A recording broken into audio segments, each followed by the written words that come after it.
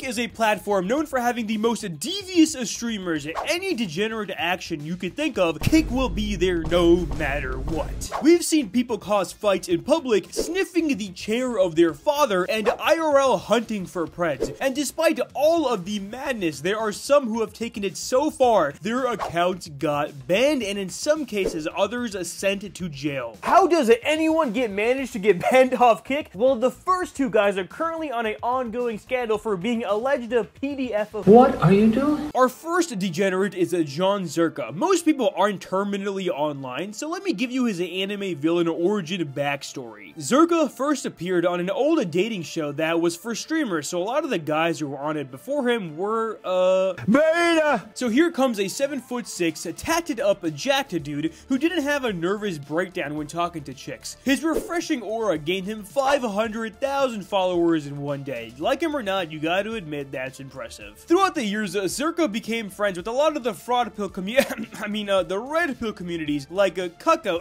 oh my god, why do I keep stuttering? Sneako and uh, Fresh and Fit, even appearing on their podcast. And so I worked with for four years, and if you count nightclub bouncing, I worked with for like almost 10 years, right? So I know the nature of and they've never done an allegation against me because then a million will come out and say, no, he's a good guy. And this is mad because I 28 and I have an 18 year old. Do the math. What, what would you do? Huh? Am I going to go into used car car lot? I'm like, yo, I want to stay with the teenager, bro. I want to talk about anime.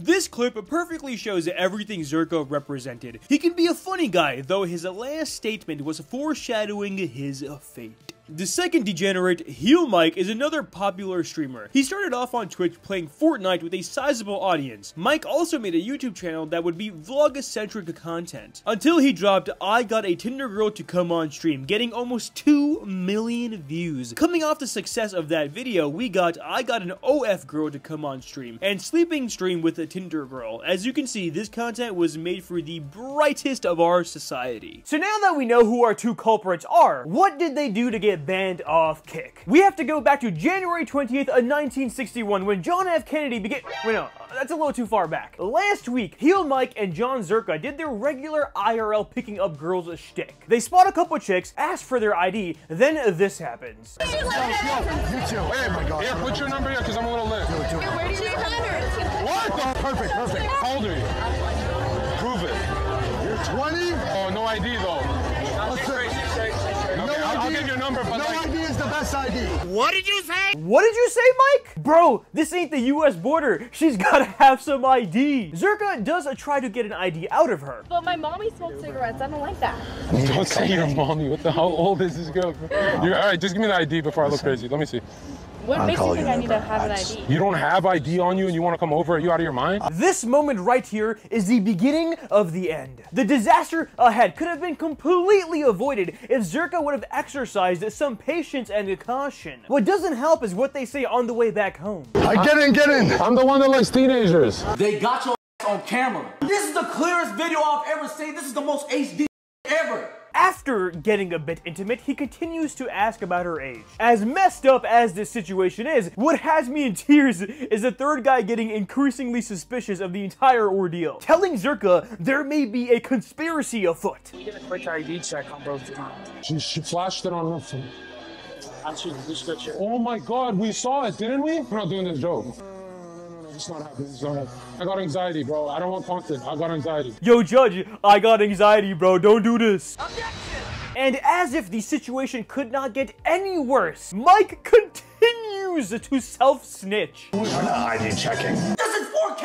How did they get you in 4K? Chat, I've got to be honest. I've got a little bit of sympathy for Zherka here. At the end of the day, she's allegedly lying about her age. And you can tell the prospect of her being underage is hitting Zherka real hard right about now. But when you're friend says nonsense like that. Bro, what are you doing? And let's not even forget the fact that he's a full-grown adult who shouldn't even touch her without being a 100% sure that she's over the age of 18 or whatever the legal age is in their state. The reality of the situation starts to hit Zherka. He is sick. She ends up magically finding her ID that says in 1998, completely different from the other ages she's been talking about, which gets allegedly confirmed the following day. Despite all of the cope, Mike and Zherka are cooked, with their kick accounts banned. You have done that yourself. I don't wish that upon anybody, but in this case, they literally chose all of the wrong dialogue options. The only bright side, I suppose, is there likely won't be any legal action, since the chick clearly, allegedly, lied about her age. Now, I can't say that about the next guy who got jailed in Japan. IRL streaming is a major part of Kick's content ecosystem, being a staple for based and red pill folk like Neon and Jack Doherty. And while those two dweebs cause chaos on stream, nothing compares to the infuriating degeneracy of uh, Johnny Somali. Nagasaki, you know. You know Nagasaki. We're gonna do again. What? Nagasaki. We do again. You understand? You don't know. You know history. You know. For those who don't know, Johnny's entire shtick was going around public spaces in Japan and harassing the locals. When he says Hiroshima and Nagasaki, he's alluding to the tragedy of 1945 when the US dropped the little boy on the two regions of Japan. Tons of YouTubers like PewDiePie call him out on his behavior and say that he's ruining Japan. The last guy everyone's talked about this it. We'll just blur him and not talk about him, but it's still worth seeing the footage. He's all you need to know is he's a kick streamer. I should tell you everything. That's everything you need to know. He's like bothering people on the subway, and then What? this Asian-looking guy shows up. Where, you know where I'm from? Yeah, you're being obnoxious. You know what we do to you? What do you do? We will do again. Do what? Hiroshima Nagasaki. He was making content on borrowed time with the reality slowly catching up to him. He's been smacked, jumped, and dead in the face. Obviously can't show that, but boy is it satisfying. He was cooked. But since the views kept coming in, Johnny kept pushing the boundaries until September of 2023, where he was arrested for allegedly trespassing on a construction site. Oh, he's going into the warehouse? Nah, this is wild. Oh my god, Chad, what the did I get myself into? Oh, he's mad. He's getting mad. He's getting mad, bro. He's getting activated, dog. Check. Hey, whoa! Hey, whoa! Fukushima, Fukushima! Whoa! Fukushima! Hey, Fukushima, Fukushima! The based worker takes him out immediately, understanding what was going on. On the way out, you can hear Johnny say Fukushima, again alluding to another disaster. This one was on 2011, where a nuclear power plant went off, which people say was caused by an earthquake and a tsunami. This compounded with him blasting music in a restaurant that led to his deportation from Japan. After a court case of nearly getting sent to prison, you would think Johnny learned his lesson.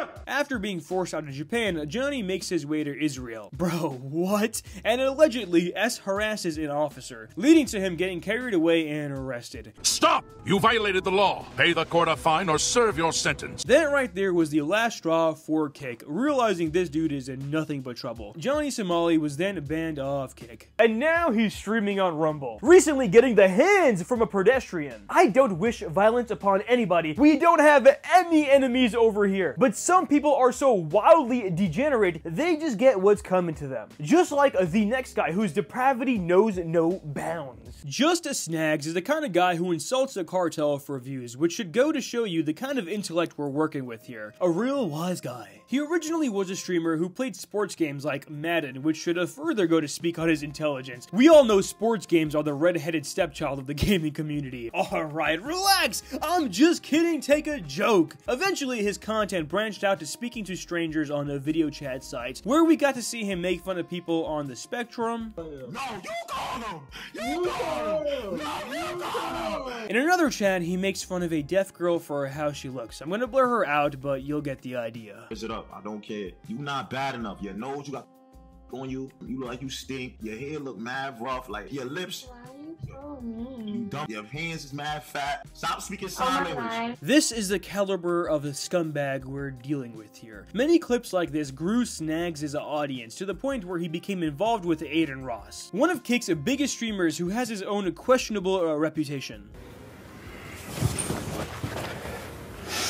Ross set up a boxing match meant for streamers who have beef with one another, in this instant, Snags and X. Regardless of who won, this was a major exposure for Snags, an opportunity of a lifetime to grow his audience. You'd think a sane person would recognize this and clean up their act a bit, though just Snags is anything but sane. A few months ago, the timeline to destruction started when he was on a chance site and came across a 14 year old. And before I show you the clip, think for a moment what he could possibly say live on camera in 4K to a 14 year old. So that what grade is that? Like a sophomore? Sophomore. Eighth grade? Can I play with that? Oh my god, man, what the what is wrong with people? This got the attention of internet personality Lil Tay, who is about 16. They called him out for what he said it. They have a back and forth exchange, ending with Snags saying that uh, she should go to uh, Jeff's island with him. That was the straw that broke the turtle's back. Clearly, this guy was on another level of degeneracy and had to go. Honestly, guys, I have nothing to say after all of that. This is this is madness. Just watch one of my previous videos. I promise you'll enjoy them.